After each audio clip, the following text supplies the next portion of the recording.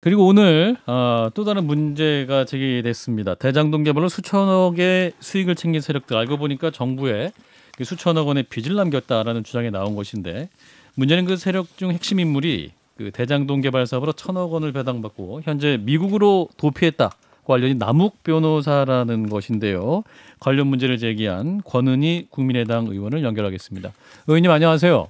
네, 안녕하십니까. 예, 이게 좀 워낙 복잡하고 어려운 사안이어서 네. 좀 차근차근 설명도 해주셔야 될 것 같은데. 네. 자, 2015년 성남의 뜰 대장동 개발 사업이 시작되기 전인 2009년에 네. 이미 이 사업을 하려고 했던 회사들이 있었다면서요?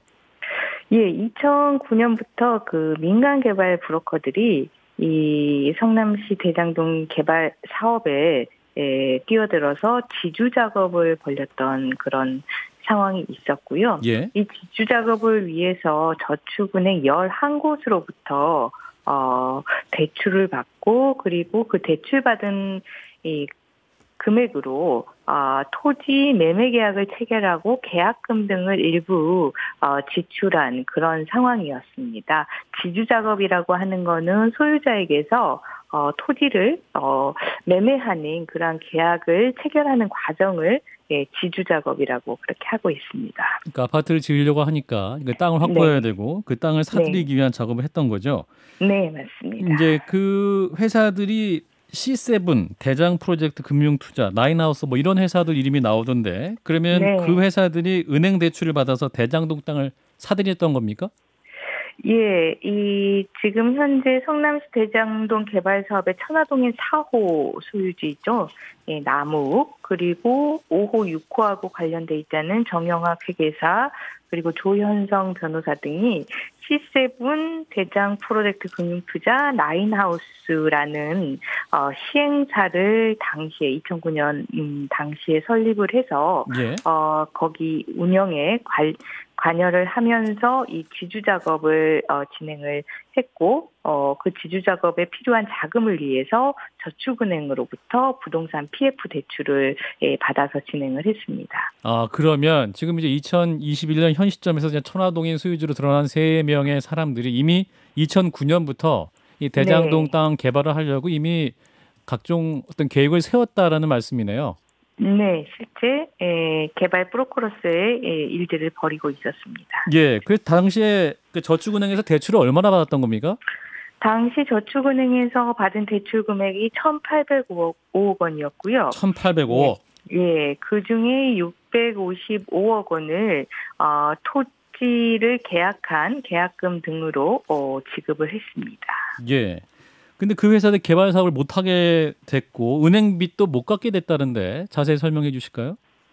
예, 저축은행으로부터 1,805억 원을 대출을 받아왔는데, 예. 어, 이 당시 저축은행이 뭐 다들 기억하실 겁니다. 대- 저축은행 부실 사태, 예. 네, 기억을 하실 텐데, 2011년에 당시 저축은행들이 이 부동산 PF 부실 대출을 이렇게 성, 예컨대 성남시 대장동 개발 사업처럼 예, 그 부실 PF 대출들을 많이 해줬고요. 그로 인해서 저축은행들이 파산을 하게 됩니다. 예. 그래서 파산을 하게 되니까 이 대출금을 어, 회수를 하게 되는데요. 그래서 이 남욱 등이 이 대출받은 금액을 상환해야 되는 상환에 상황에 예, 놓여 놓여졌고요. 예. 그리고 한편으로는 그 원주민들하고 토지 매매 계약을 체결했기 때문에 원주민들에게 잔금을 지급하지 못하면 토지 소유권을 어, 취득하지 못하는 그런 어, 오도가도 못하는 상황, 아, 정말 망하기 일부 직전의 상황에 예, 처하게 됐습니다. 예. 그래서 결국 그 사업을 못 하게 됐던 거죠. 그 사업을 결국 못하게 됐습니다. 예. 그래서 지금 부실 채권이 2천억 대라고 하는데 어떤 상황이죠? 네.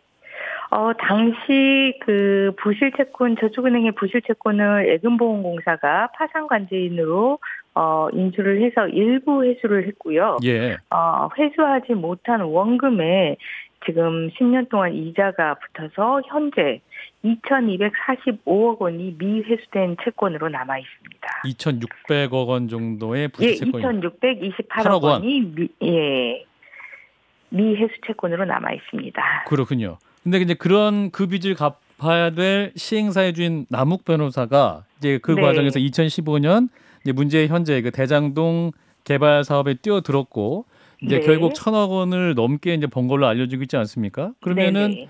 이 빚에 대해서 남욱 변호사에게 갚아라 청구를 할 수 없는 건가요? 어, 지금 현재 그 예금보험공사의 입장으로는 어, 당시에 그 부실 대출 PF 1,805억 원의 부실 대출의 채무자가 예. 아, 당시에 시행사인 회사 법인이었고요. 세계 법인이었고 그리고 연대보증은 어, 당시에 대표이사가 연대보증을 했고 남욱이 어, 대표이사인 음, 때가 아니었기 때문에 남욱은 어, 음. 지금 채권 채무 관계로 어, 설정이 되어 있지 않기 때문에 어허. 이 수익에 대해서 어, 채권 재무 관계가 없기 때문에 회수할 수 있는 방법이 어렵다, 어려워 보인다라고 하는 것이 예금보험공사의 입장입니다. 음, 그럼 법적으로 사실상 책임을 물을 수 없는 상태다. 예, 예금보험공사는 그렇게 얘기를 하고 있는데요. 예.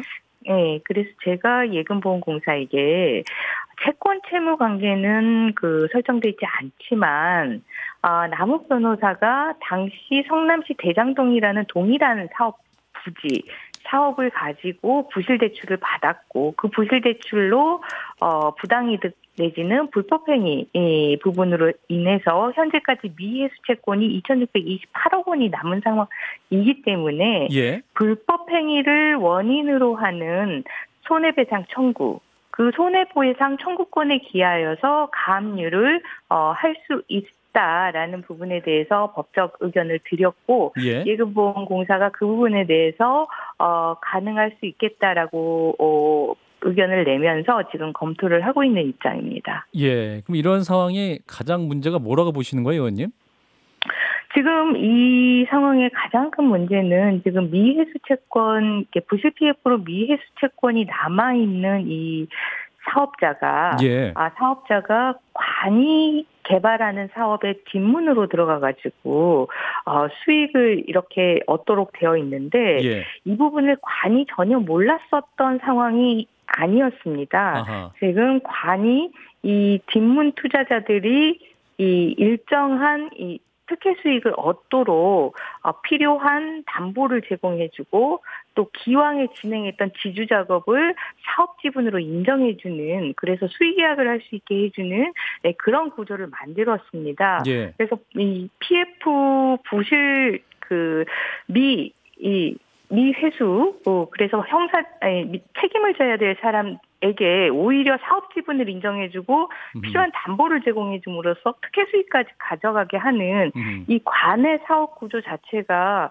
아 공동의 예, 책임을 묻지 않을 수 없는 그런 상황이라고 보여집니다. 네, 이미 2009년부터 사업을 잘못해가지고 저축은행 파산에 기여를 했고 2,628억 원의 부실 채권까지 남긴 그 사업자 네. 중에 한 사람이 이외에 또 민관합동 사업을 통해서 천억 대의 이득을 획득했으므로 그 자체로 이미 좀 부당하다 이런 주장이신 거네요.